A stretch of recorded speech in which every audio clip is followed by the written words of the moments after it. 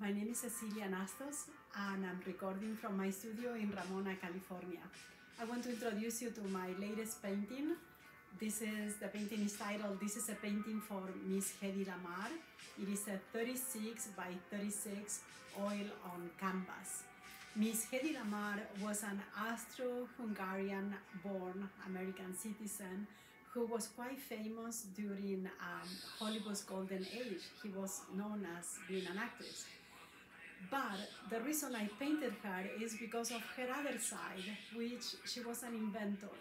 She uh, came up with the idea of frequency hopping signal during World War II to prevent the torpedoes um, uh, guidance systems from being tracked or jammed.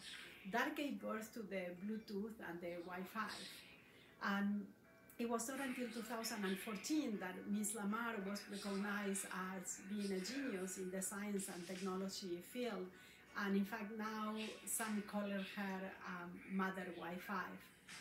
Johnny Depp um, wrote a song for her, which is the one that you are hearing on the background, and it's titled This is a Song for Miss Hedy Lamarr. I wanted to honor her using my own form of uh, expression in the arts, which is painting.